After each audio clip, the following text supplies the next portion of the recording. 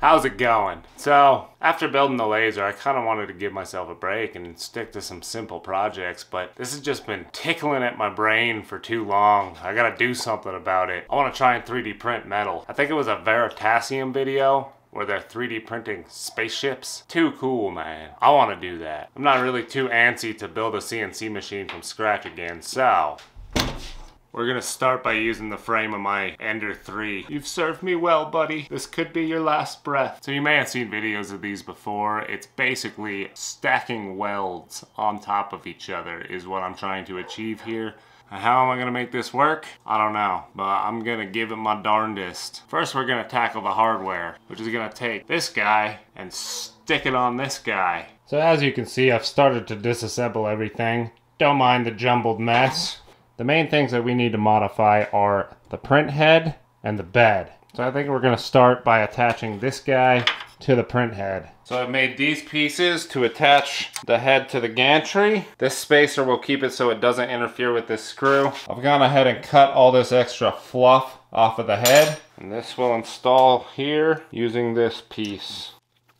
Like so. So we got our print head all ready to go. I may need a little extra bracing because it is a little wobbly. But for now, we're calling it good. Now, we need to start thinking about how we're going to make this bed. And the part that I was really racking my brain on was to figure out how to completely isolate the bed from the rest of the frame of the machine so that there's no weld current passing through the machine. But if you look at it, it already is electrically isolated. The only thing attaching the bed to the frame is these rubber wheels and this rubber timing belt. So, this just got a lot easier. Now then, what I want for a bed is basically a fixture plate with tapped holes in it so that I can put a piece of aluminum on top to use to weld on and fasten it down all over the place. That way we don't get any funky warpage.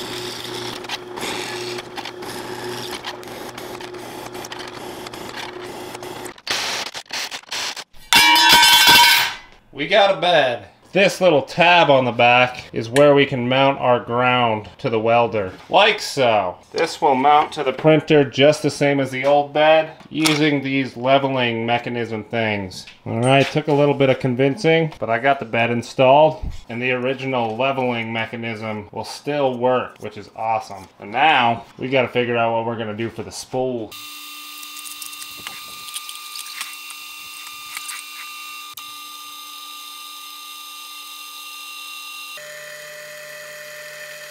For the spool carrier, I've made these parts. This piece just leaves the correct amount of spacing to fit the spool, and this is what the spool will go on. And from there, I can from there, I can just use the regular mounting hardware that came with the spool gun. Look at me welding machine parts. Bad form. You might be looking at this and thinking, wow, what a lazy guy. Why don't you just take it apart? And to that I say, you're right. As it turns out, not only am I lazy, I'm also dumb. This isn't steel. Grinds like steel, but does not weld like steel. Broke right off. After much anguish and contemplating my life decisions, I went ahead and made this little bracket, which can fit into these two holes that I drilled on here. And I'll just weld that to my spool holder.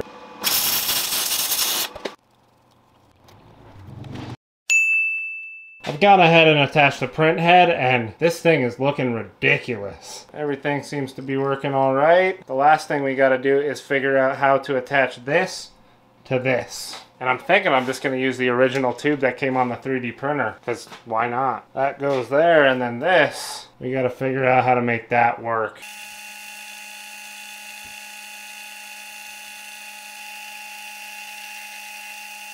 So we got our little piece. That just slides right on there. Now I could braze these together, but I'm a little scared I'm going to plug the hole in there with solder. So we're going to use our good old friend, quick setting epoxy. So I snuck off for a second there to figure out all the electronic stuff, but everything is just about the same as when you last saw it.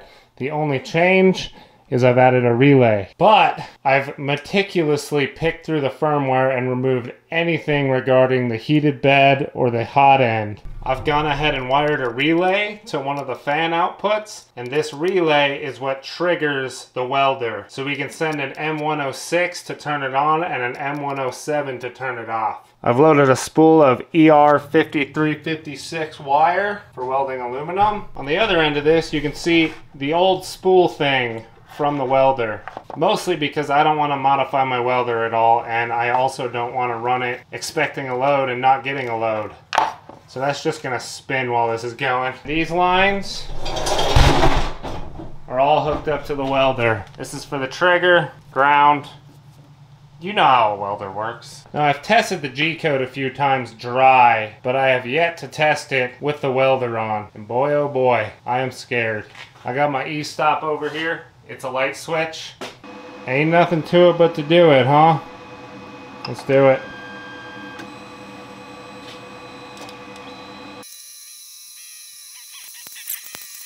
Well, that didn't go quite as planned. As you can see, here is our beautiful weld. Here is our absolutely mint condition welding tip. So I think we started off a little hot. Let's try this again, but colder.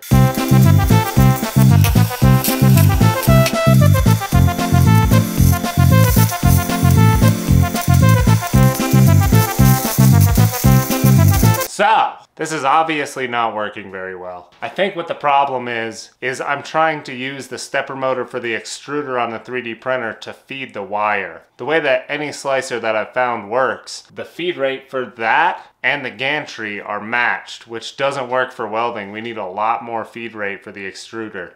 And that could be fixed by writing a new slicer for this, but we're going quick and dirty here. So I've taken the wire feed mechanism from the spool gun and stuck it on here. So now all the wire feeding is controlled by the welder.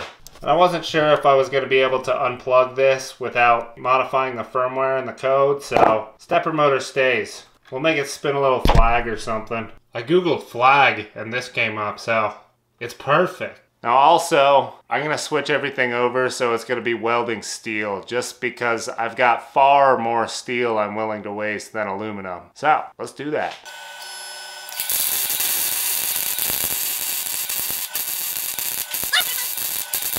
Here's what we got with our current print settings.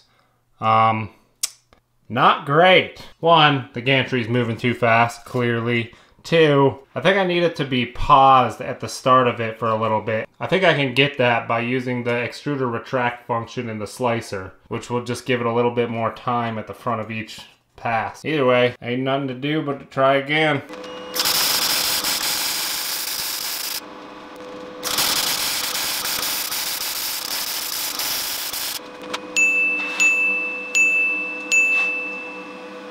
Alright, this thing's not working. I think our main problem is this highly professionally built wire feed system. Didn't know it was possible, but we're gonna make it more professional. I've taken the end piece off of this gun and pulled out the liner.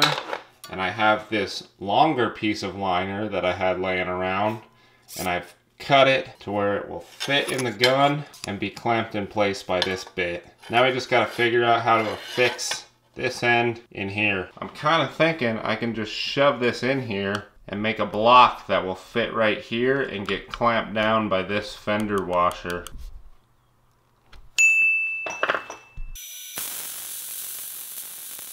It's set to pause for 30 seconds in between layers to let everything cool down.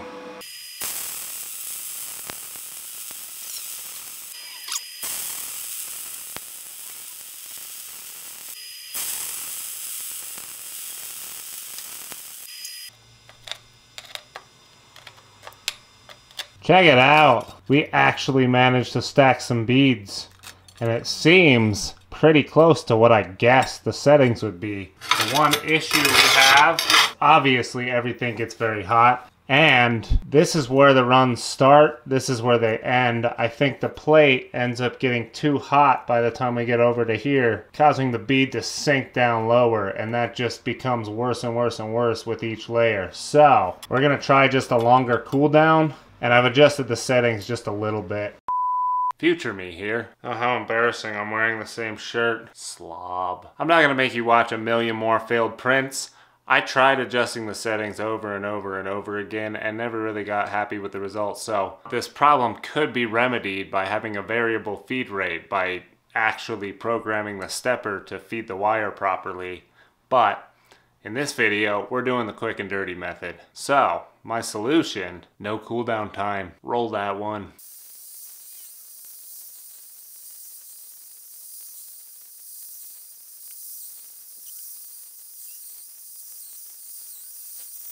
So that's supposed to be half of a sphere. And honestly, it doesn't look too bad. I clearly had issues with closing up that top, but I kind of had a feeling that would happen.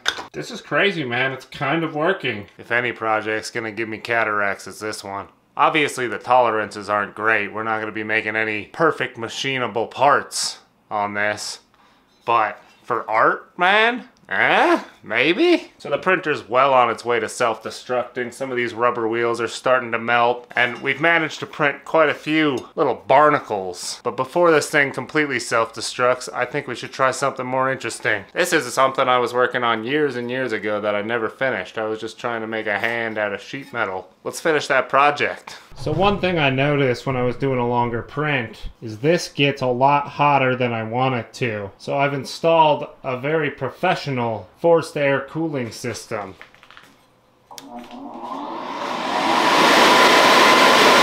Highly effective! Now obviously that will blow all the shielding gas away, but I've programmed in some pauses where the machine will pause for 10 minutes, a third of the way through the program, and I'll just turn that on for that to cool everything off quickly. Now, ain't nothing to it but to do it.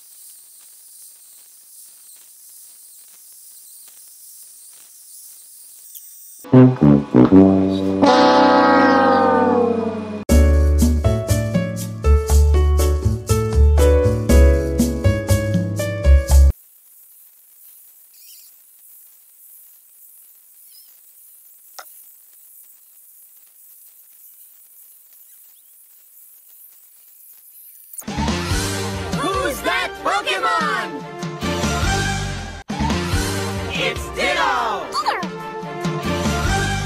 So, that didn't really go as planned. Although, we were able to print layers on this thing, and this, as you can clearly see, is a very janky setup. I think with a little bit more refinement, this could actually work. So, I'll be revisiting this in the future. The programming involved to make this work is far beyond what I am proficient at now, so it's gonna take me a while to crack this one, but I, I am gonna keep working on it because I think this is an interesting idea. There's definitely some improvements to be made. For one, better wire feed. Ideally a wire feed with a stepper motor on it so that we can change the wire feed amount based on the temperature.